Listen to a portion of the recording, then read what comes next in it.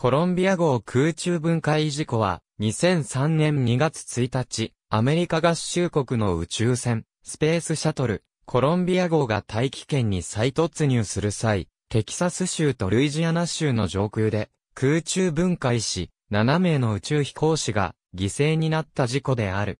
コロンビアは、その28回目の飛行である STS-107 を終え、地球に帰還する直前であった。事故原因は、発射の際に、外部燃料タンクの発泡断熱材が空力によって剥落し、手提げカバンほどの大きさの破片が左主翼前縁を直撃して大気圏再突入の際に生じる高温から機体を守る耐熱システムを損傷させたことだった。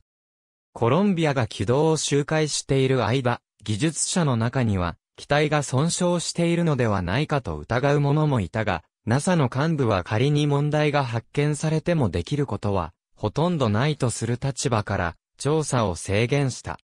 NASA によるシャトルの元々の設計要件定義では、外部燃料タンクから断熱材などの破片が、剥落してはならないとされていた。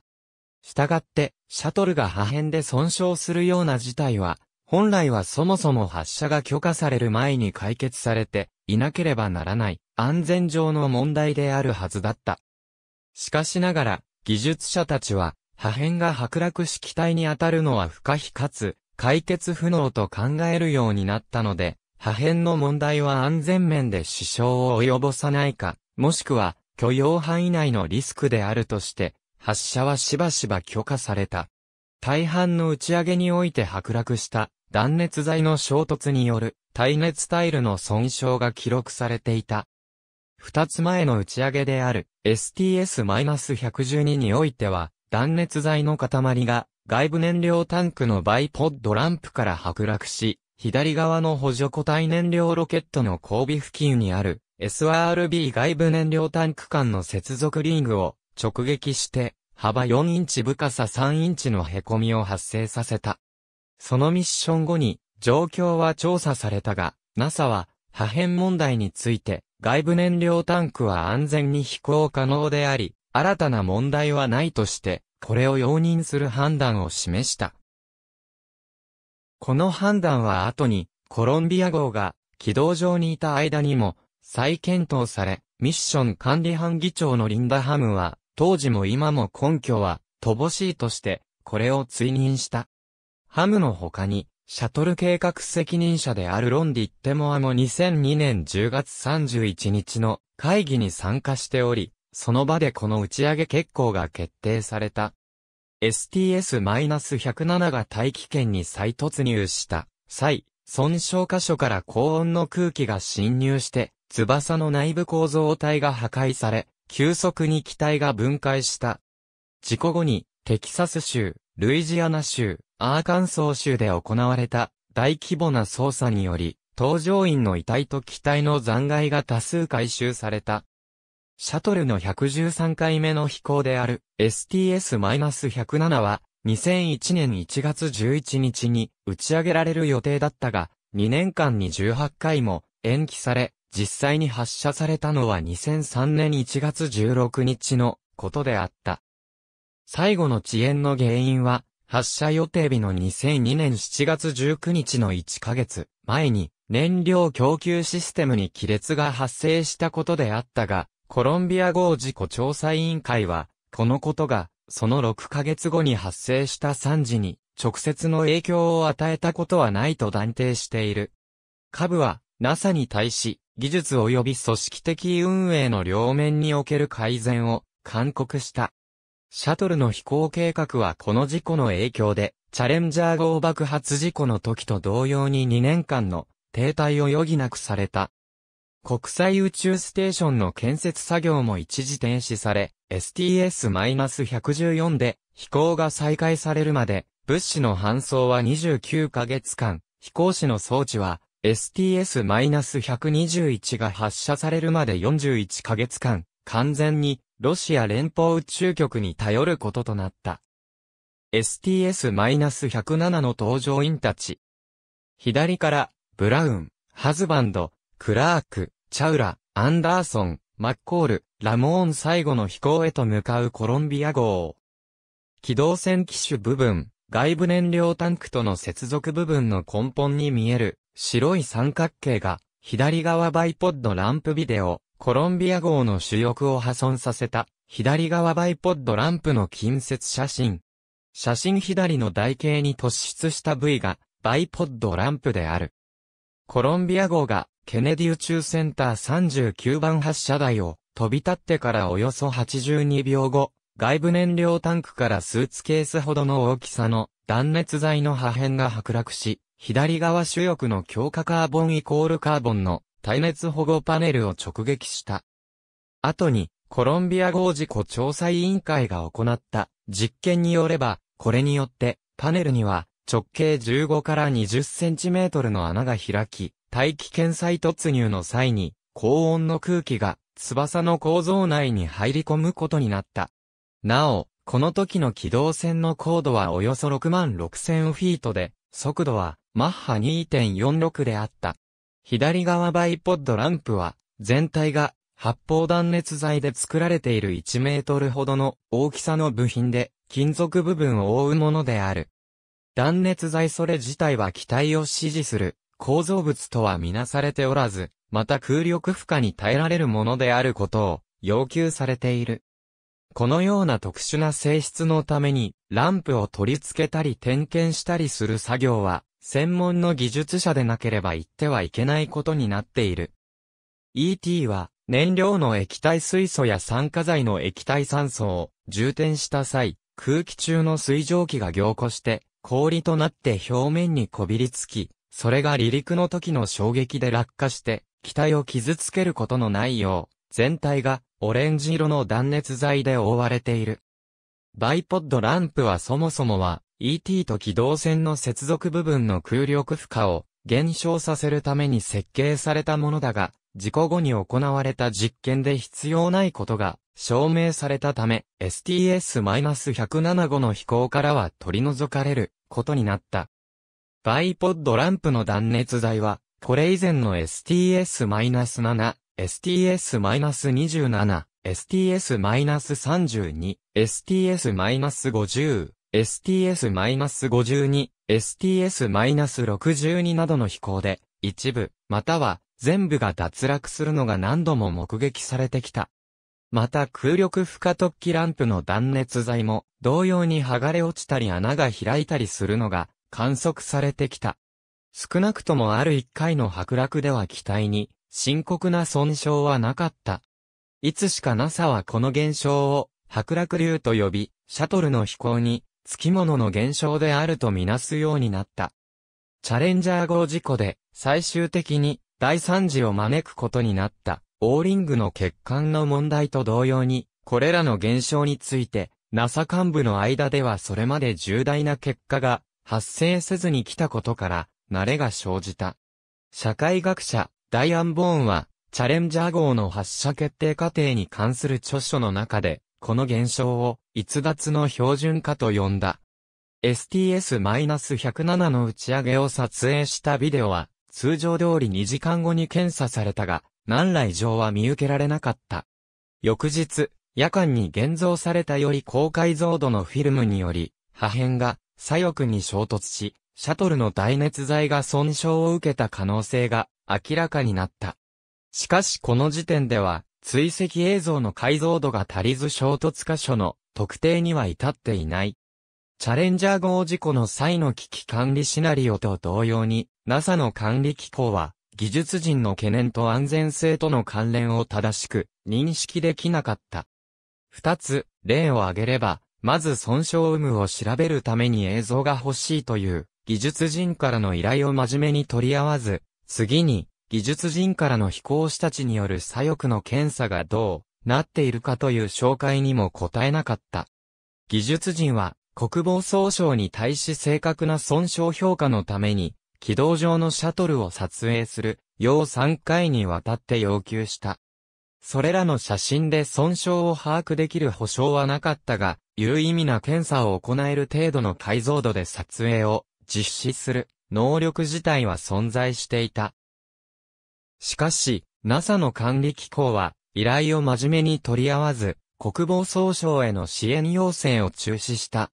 事故調査委員会は、事故後の報告書にて、国家画像地図局との協定を変更し、軌道周回中の機体撮影を標準要求にするよう勧告している。リスク評価の過程全般を通じて、NASA の上層部は、熱保護システムに損傷が発見されたところで何も打つ手はないと信じていたため、調査の迅速性や徹底性、不測の事態への対処方針など、何事につけても態度が甘かった。彼らは、各種パラメータを考慮した仮想シナリオ研究を行うことにしたが、これは未来事象のリスク確率評価に適したものであって、具体的な損傷を検査し評価しようとはしなかった。調査報告書は、この件に関して特に、リンダハム飛行計画総合監督官の態度を問題として取り上げている。リスク評価のほとんどは、熱保護システムに関して予想される損傷遺憾にかかっていた。これは大別して二つに分けられる。一つ目は、主翼仮面に貼られているシリカ製タイルの損傷であり、二つ目は、強化カーボンイコールカーボン製の主翼前縁パネルの損傷である。耐熱タイルと RCC の損傷を評価するため、損傷予測ソフトウェアが使用された。タイルの損傷を評価するツールは、クレーターという名前だったが、数人の NASA 関係者がマスコミに語ったところでは、これは実際にはソフトではなく、過去の飛行データをもとに作られた統計ワークシートのようなものだった。クレーターは、もし耐熱タイル付近が直撃された場合は、複数のタイルが貫通されるという予測を出したが、NASA 技術人は、この結果を軽視した。結果を見ると、そのモデルでは、小さな投射物が衝突した場合の損傷は課題に評価される傾向があったので、それよりも大きな吹き付け式発泡断熱材が直撃した場合の予測も同様に課題に出るのだろうと技術人は考えた。この時に RCC の損傷予測に使われたプログラムは、紙巻きタバコ1本程度の大きさの氷の衝突を想定しており、より大きなソフィの衝突は考慮していなかった。この当時までは RCC パネルに損傷を与える可能性があると考えられていたのは氷だけだったためである。ソフトウェアの予測結果では、ソフィが RCC に衝突する予測経路15通りのうちの一つにおいて、氷の塊によって RCC パネルが完全に貫通された。電子メールのやり取りの中で、NASA 幹部は、ソフィの密度が低いことをもって、予想被害を割り引いて考える根拠として良いか尋ねた。ソフィの素材が伝えるエネルギー量について技術的な懸念があったにもかかわらず、NASA 幹部は結局 RCC パネルの予想被害を完全な貫通からパネル表層へのわずかな損傷に引き下げる見方を受け入れた。結局のところ、NASA の計画管理者たちは、この衝突が安全を脅かす状況だったと示す証拠は不十分だと考えたので、破片衝突をターンアラウンド事象と宣言し、国防総省による写真撮影を求める依頼を却下した。事故の経過を以下に記す。コロンビアは予定では午前9時16分に着陸するはずであった。大気圏再突入時の白熱光が正面の窓の外に見える。地上から午前8時57分頃に撮影されたコロンビア。左主翼から破片が散り始め、前縁部も変形しているのが確認できる。アメリカ国立気象局のレーダーが計測したテキサス州とルイジアナ州にかけて散乱するコロンビアの残骸。テキサス州ヒューストンのジョンソン宇宙センターで喧嘩する人々コロンビア号の事故に対するブッシュ大統領の声明。2003年2月1日第43代合衆国大統領ジョージ W. ブッシュは事故の一報を受け滞在していたキャンプデイビッドからホワイトハウスに移動。事故原因の究明を指示し、東部標準時14時4分、全米に向けてテレビ演説を実施。本日、我が国に大きな悲しみをもたらす痛ましい出来事が起こりました。コロンビア号が失われたのです。生存者は一人もおりませんとの声明を発表した。しかしながらブッシュは、彼らが命を失うことになった宇宙への旅は、今後も続くのですと、この事故に関わらず、アメリカは宇宙開発計画を継続することを誓った。この演説は1986年1月28日のチャレンジャー号爆発事故発生時に当時の大統領ロナルド・レーガンが行った追悼演説を踏まえたものである。日本時間2月2日午前7時台に放送された NHK ニュースおはよう。日本にて日本放送協会ワシントン支局の手島隆一支局長はこの演説をイラク戦争を前にした中で米国民の結束を乱したり自信を失うことのないよう配慮したものと報じた。飛行士の遺体を含む残骸はテキサス州東部の過疎地からルイジアナ州西部及びアーカンソー州南西部に至るまでの2000カ所以上の地域で発見され、特にダラスから南東へ約 290km 離れた中道チェスで回収されたものが多かった。事故発生から1ヶ月間、かつてないほどの大規模な捜索が行われた。NASA は国民に対し、残骸の中には、姿勢制御用、ロケットエンジン燃料のヒドラジンなど、猛毒の有害物質もあるので決して手を触れてはいけないこと、発見した場合は直ちに地元の警察、消防や政府機関に報告すること、また許可を得ない者が勝手に私有した場合は処罰される。ことなどを警告した。破片は広範囲に散布したため、多数のアマチュア無線化がボランティアとして参加し、通信連絡を支援した。微生物学者のキャシー・コンリーは、無重力が生体に与える影響を調査するため、シーエレガンスと呼ばれる、成虫で 1mm ほどになる線虫をシャーレに入れ、アルミニウムの容器で密封して、コロンビアに搭載した。それらは、再突入時の熱や地表に激突した際の衝撃にも耐え、事故から数週間後に回収され、2003年4月28日まで生息していたことが確認された。捜索隊のパイロット、チュールス・エフ・マイヤー・ジュニアと航空専門家のチャールズ・クレネックは捜索活動中にヘリコプターの衝突事故で死亡した。この事故では他に3名の重軽傷者が出た。テキサス州の数名の住人は残骸を発見したものの NASA の警告を無視し、インターネットオークションのイベで競売にかけようとした。開始価格は1万ドルであった。このオークションは即座に中止されたが、コロンビアのプログラムや写真、破片などの商品価格は事故後に柴叩く間に跳ね上がり、コロンビア関連商品リストなるものまでが作り出された。不法に取得された残骸を回収するために3日間の猶予期間が与えられ、数百個の破片が提出されたが、およそ4万個以上のものは未だに行方不明である。回収された残骸の中で最大のものは、着陸脚、窓枠、機首のノーズコーンなどである。2008年5月9日、コロンビアに搭載されていたコンピューターのディスクドライブに記録されていたデータが残っていたことが公表された。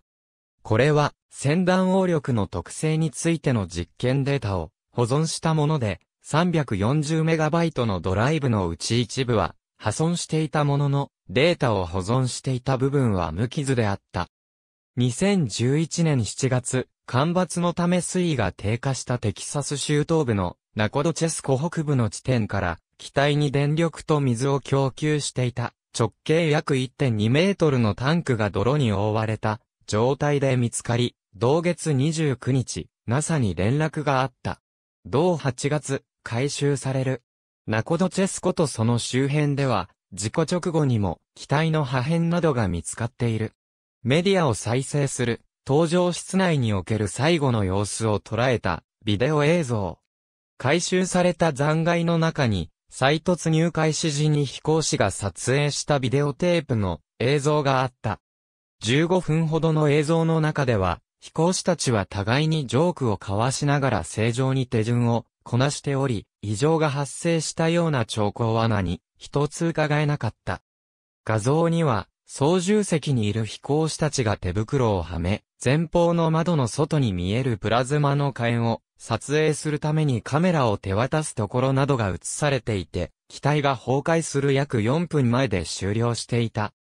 通常の飛行では撮影は着陸するまで続けられるはずで、スコット・アルトマン飛行士がウェブ上で語ったところによれば、テープの残りの部分は事故のために消失したのだという。NASA のシャトル運営管理官、ロン・ディットモアは、ケーキが最初に示したのは、左主翼の温度計と油圧計が失われたことで、続く数秒あるいは数分のうちに、左主脚タイヤの圧力消失や構造部の加熱など、問題が続けて発生したと報告した。データ破損のために初めは放置されていた31秒間分のテレメトリデータを後に解析したところ、シャトルはどうにか方向を維持しようと悪戦苦闘しており、最後は姿勢制御システムを最大水力で噴射していた。調査では、最も初期から断熱材の衝突が注目されていた。離陸の際に氷や破片が衝突して機体に損傷を負わせることはすでに知られており、特に STS-45 や STS-27、STS-87 などで、これまでにもすでに起きていた。コロンビア号の喪失後、NASA 当局は剥落の原因はおそらく製造不良にあると結論し、断熱材を欠陥なく装着するようルイジアナにある民衆組み立て工場の従業員を再訓練した。過去には、極低温の外部燃料タンクから通る除された断熱材が耐熱タイルに損傷を与えたこともあった。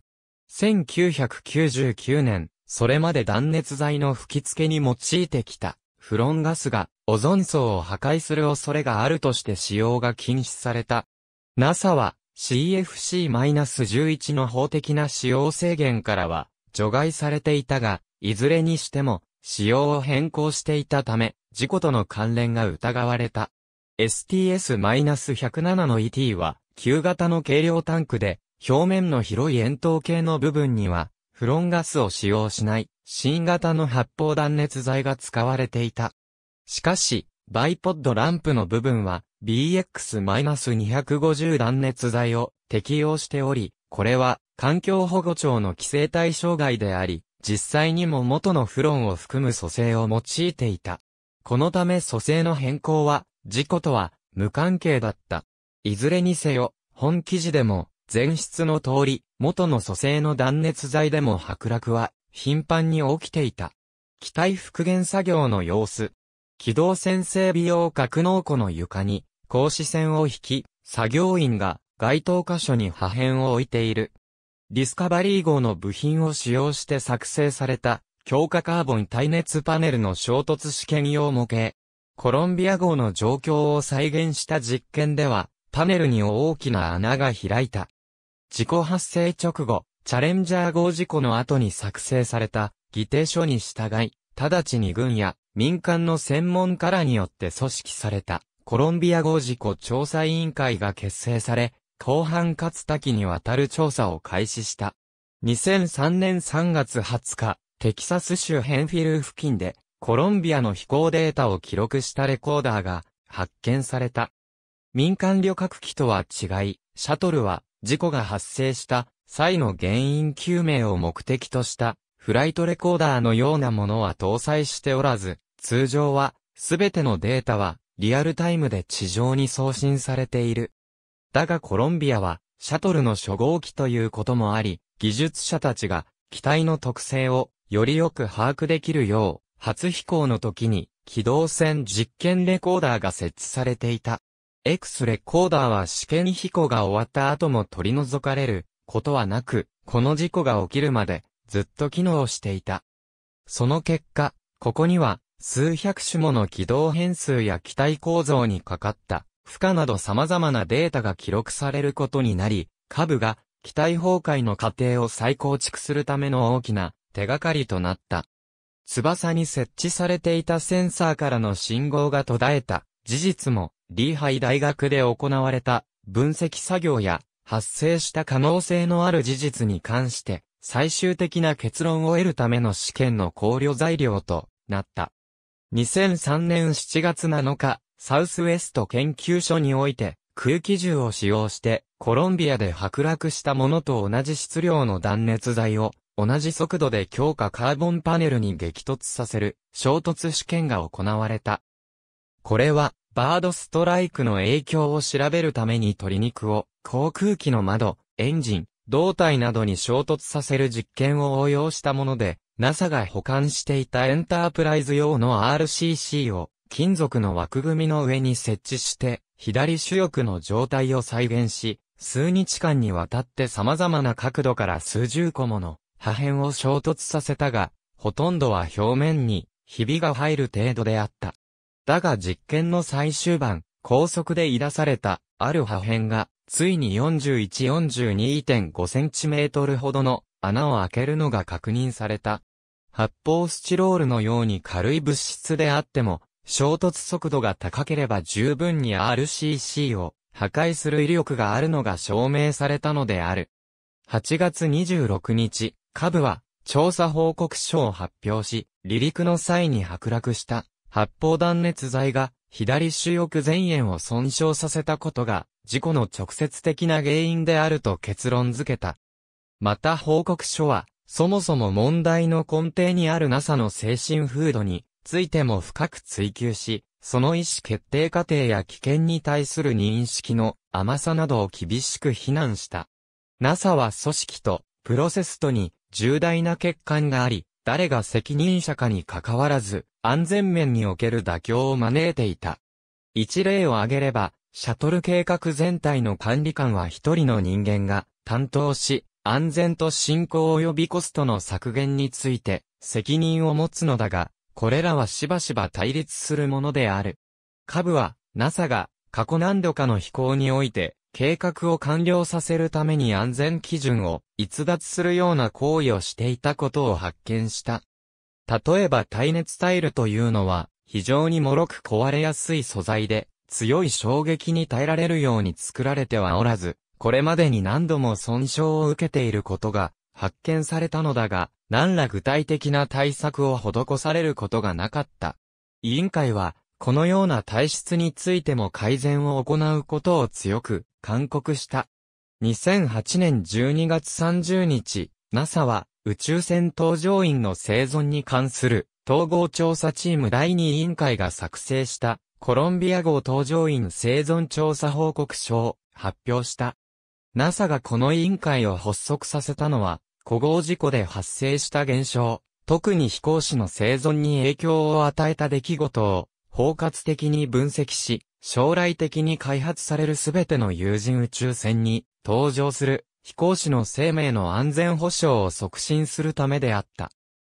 報告書は、コロンビアの減圧は、飛行士が搭乗室の余圧の確保に対処する間もなく極めて短時間のうちに発生したため、彼らは数秒のうちに意識を失ったと考えられる。空気の循環系統はそれでも、しばらくのうちは機能していたが、急激な気圧の低下の影響は大きく、飛行士たちは二度と意識を取り戻すことはなかった。この減圧こそが、搭乗員たちに対して、致命的な出来事であったと述べた。報告書は、また、と指摘した。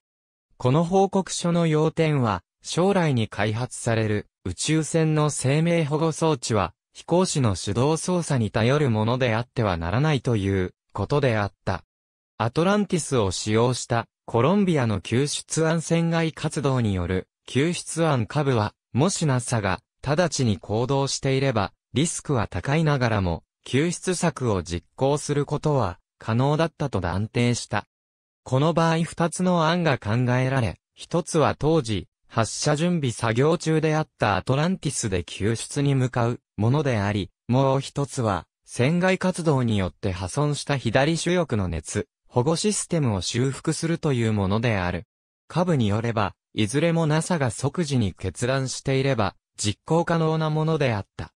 シャトルの発射準備には相当な期間が必要とされ、また一旦宇宙に行ってしまえば、軌道を周回している間に使用する消耗品の量には限りがあるため、通常は救出用のシャトルを打ち上げることは不可能である。しかしながらこの時はアトランティスが3月1日発射予定の STS-114 に向けて準備に入っていたし、また、コロンビアも国際宇宙ステーション建設調査のための機動滞在期間延長機器を搭載していた。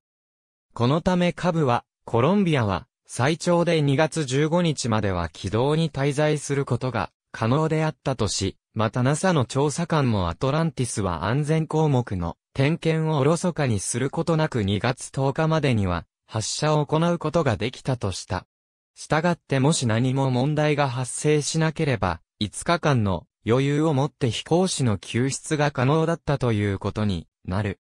また NASA は飛行士がエヴァによって破損箇所を修理する方法も修復用素材の復元力が不確実であるためにリスクは高いとしながらも行うことは可能であったとした。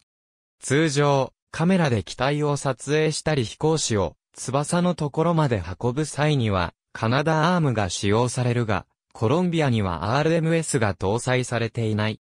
そのため点検作業を実行するためには、通常時にはない特殊なエヴァを行うことが要求される。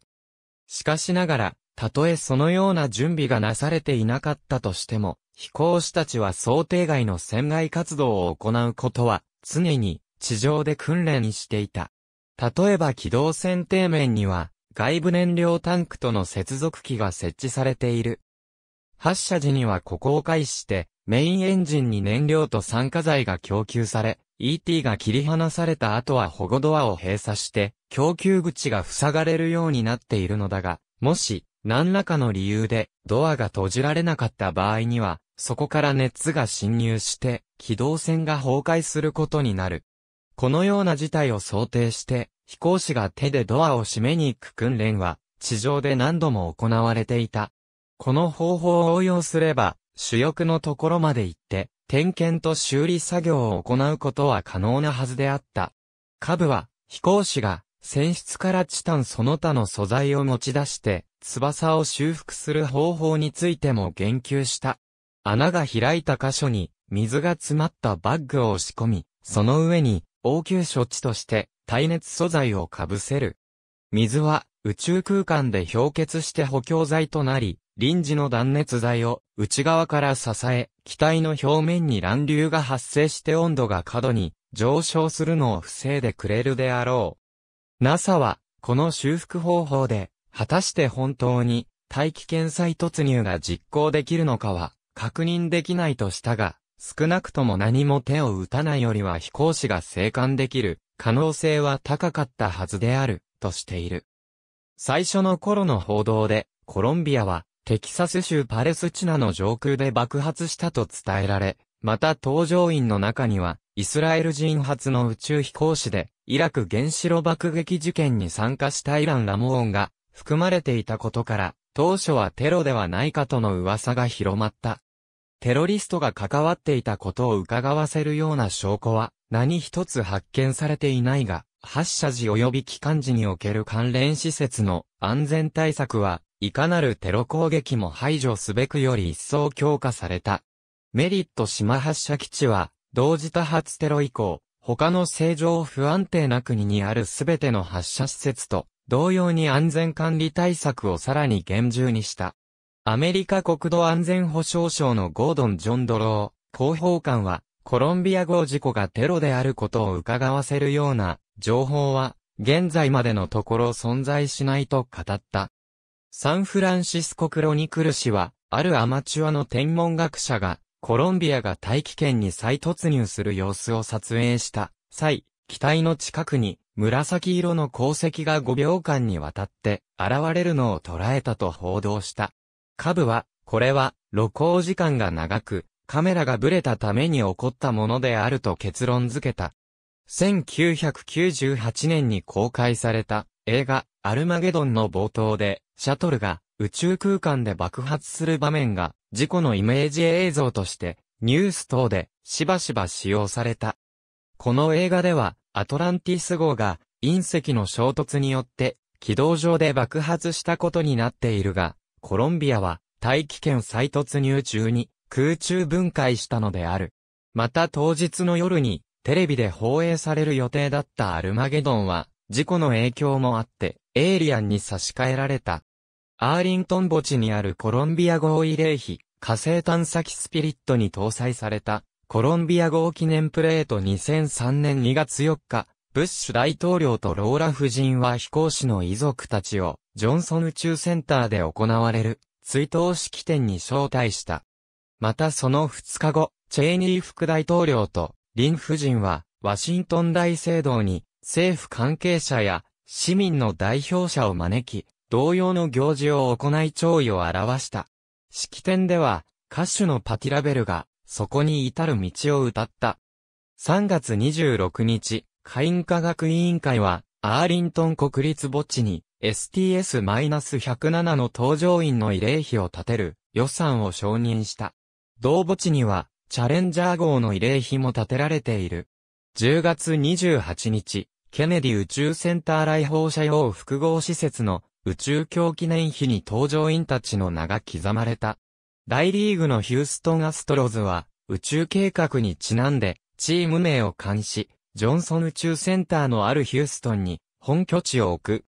2003年4月1日の公式戦開幕日には、搭乗員の家族と友人7名を招待し、始球式では彼らに一斉にボールを投げ込んでもらった。国家斉唱の際には、コロンビアの最後の飛行に携わった関係者を含む107名の NASA の職員が正常期を持ってグラウンドに入場した。またアストロズの選手たちは、この年はシーズン終了まで袖に模章をつけてプレーをし、ダグアウト周辺にある広告もすべて STS-107 の表彰に置き換えられた。2004年、ブッシュ大統領はチャレンジャーとコロンビアで死亡した14名の飛行士に宇宙名誉勲章を追助した。NASA は様々な地名にコロンビアやその搭乗員の名を冠している。2001年7月にパロマー天文台が発見した7個の小惑星は、それぞれ51,823リック・ハズバンド、51,824マイク・アンダーソン、51,825デイビッド・ブラウン、51,826カルパナ・チャウラ、51,827ローレル・クラーク、51,828イラン・ラモン、51,829ウィリー・マッコールと名付けられた。また火星に着陸した探査機スピリットの氷徳アンテナにはコロンビアの表彰が描かれており、さらにスピリットの着陸地点はコロンビアメモリアルステーションと命名された。着陸地点の東にある7つの丘も、コロンビアヒルズと名付けられ、それぞれに飛行士の名が冠せられている。特にその中のハズバンドヒルには移動探査機が直接、登り、土壌の採掘を行った。地上においては、NASA の国立科学気球観測所が、コロンビア科学気球観測所と改名された。他のところでは、テキサス州アマリロの空港が、船長の名と土地名を借りて、リックハズバンドアマリロ国際空港に改称された。またアンダーソン飛行士が卒業した高校がある、ワシントン州チェニーを通る、修道904号線は、マイケル・ P・ アンダーソン記念高速道路と名付けられた。サングレで、クリスト山脈のキットカーソン山とチャレンジャーポイントの近くにある山は、コロンビアポイントと改名され、2003年8月には記念碑が置かれた。フロリダ技術大学、クレートン大学、テキサス大学アーリントン校、ブレバード公立学校にある7つの寄宿舎には、それぞれ飛行士の名が冠せられた。NASA と関連の深いアラバマ州ハンツビルのハンツビル、教育学区では、最新設の高校がコロンビアと命名された。グアム島の防衛学部の小学校は、ウィリアム・シー・マッコール小学校とされた。カリフォルニア州パームデール市の MO 通りは、失われたシャトルの機体と飛行士を記念して、コロンビア通りと名付けられた。2004年10月、上下両院は、ドーニーカリフォルニア宇宙科学教育センターをコロンビア記念宇宙科学教育センターと改名する決議案を可決した。この議案は、ルシール・ロイバル・アラード会員議員から定義され、カリフォルニア州議会からも付随して提出されたもので、同施設は、コロンビアとチャレンジャーを含むすべてのシャトルを製造した、工場の跡地に建てられたものであった。アラバマ州、マックスウェル空軍基地にある空軍中隊学校は、同校の行動にカーネル・ハズバンドの名を付けた。ハズバンドは、東学の優秀な卒業生であった。NASA は、最新のスーパーコンピューターをコロンビアと命名した。アフガニスタンにある海軍合同軍事基地はマッコール基地と名付けられた。また、テキサス州ラボックのコロラド高校の運動場は、同校の卒業生だったマッコールを記念して、マッコールトラック競技場とされた。テキサス州東部のチェロキーに建設が予定されている貯水池は、コロンビア湖となることが決まっている。2003年2月5日、インド宇宙研究機関は、同国の気象衛星メトサットを、インド出身の宇宙飛行士、カルパナ・チャウラを記念して、カルパナ1号と命名した。コロンビア号を喪失したことにより、シャトル計画は一時的な中止を余儀なくされた。またシャトルは、国際宇宙ステーションの区画を宇宙に運搬する唯一の手段であったため、ISS の建設にも大幅な遅延が生じた。この間物資の補給には、ロシアのプログレス補給船が、飛行士の送迎には同じくロシアのソユーズ宇宙船が使用され、ステーションの運営は最小人員の2名で賄わなければならなくなった。2003年7月下旬に AP 通信が行った世論調査ではアメリカ国民は依然として宇宙開発計画を強く支持していることが明らかになった。調査では全体の3分の2がシャトルの飛行を続けるべきだとし、宇宙開発に予算を投入することに賛成した者は4分の3に達した。また火星への有人探査が良い考えだと思う者は49%、反対だと思う者は42%で、教師のような民間人を宇宙に送ることに賛成する者は56%、反対する者は38%であった。事故から1年も経たない頃、ブッシュは宇宙開発の展望を表明し、その中でシャトルは国際宇宙ステーション建設において関係各国に対する我々の責務を果たすべく、今後も飛行を続けることを命じ、2010年の ISS の完成とともに退役させ、その後は、月面着陸や火星飛行のために新規に開発された、有人開発船に置き換えることを明らかにした。NASA は2004年9月頃までにはシャトルを復帰させたいと考えていたが、実際には2005年7月にまでずれ込んだ。2005年7月6日午前10時39分、最初のリターントゥフライトミッションとして、野口総一飛行士が登場する、ディスカバリー号が、発射台を離れた。その STS-114 は、全体としては極めて成功裏に終了したが、またしても、外部燃料タンクのいくつかの部分から断熱材が剥落するのが確認された。破片が軌道線と衝突することはなかったが、NASA は原因分析と対策のため、次回以降の発射の延期を決定した。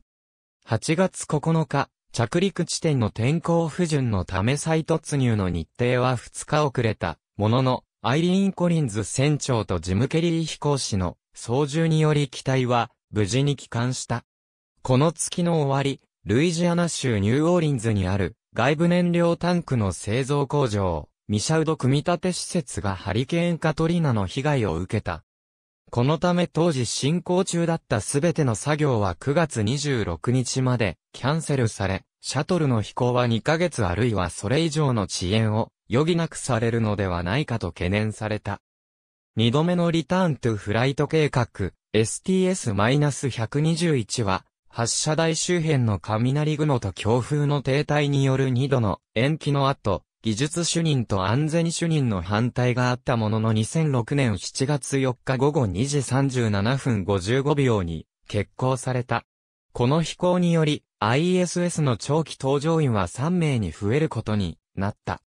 直前になって ET の発泡断熱材に 130mm の亀裂が発見されたため安全への影響が懸念されたが、飛行運営幹部は発射を決定した。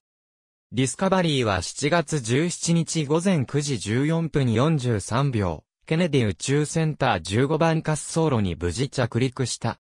2006年8月13日、NASA は STS-121 では予想していた以上の断熱材の剥落があったことを公表した。